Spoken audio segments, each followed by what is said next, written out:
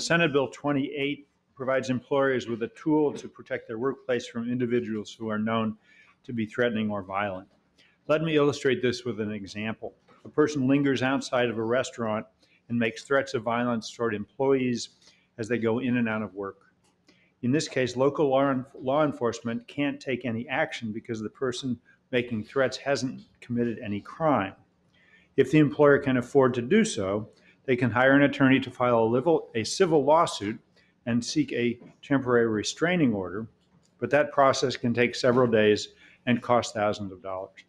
In this case, a workplace violence protection order would instruct the threatening or violent person to not make any contact with the workplace or the employees at the workplace. The procedure for workplace violence protection orders in Senate Bill 28 is modeled after domestic violence protective orders.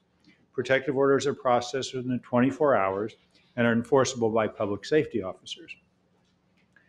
And, and this would make it the process available for workplaces that were actually seeing either real threats or individuals that had actually committed acts of violence at the workplace. And it's limited to the workplace. I want to thank the committees that have worked on Senate Bill 28, ensuring that this legislation empowers employers to keep their workplaces safe without reaching into the personal lives of, of their employees.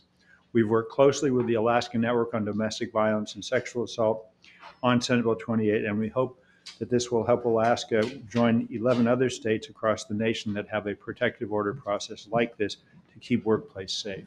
And I'm happy to answer questions, but urge a yes vote on this important legislation.